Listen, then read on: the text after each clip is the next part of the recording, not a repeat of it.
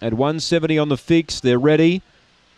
And away, she hopped out better tonight. Uh, no speed, Sean's Entity surprising, and the favourite ran wide on that first corner and collided into a few.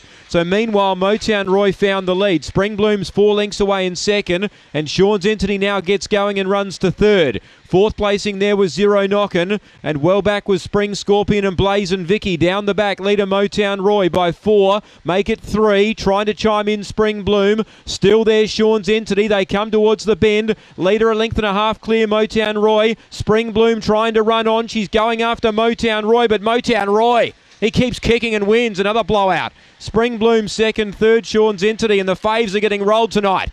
Fourth placing Zero Knockin' and Spring Scorpion and Blazin' Vicky, the last pair home.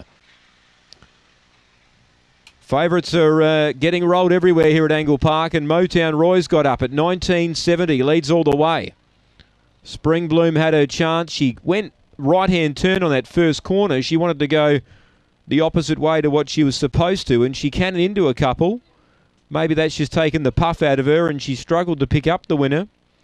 Five, Sean's Entity just battled, and Zero Knockin' gets home into fourth. Seven, one, five, and four. There is a surprise. Motown Roy. 35.21 the time. 9.01 early. 13.34 on the way home.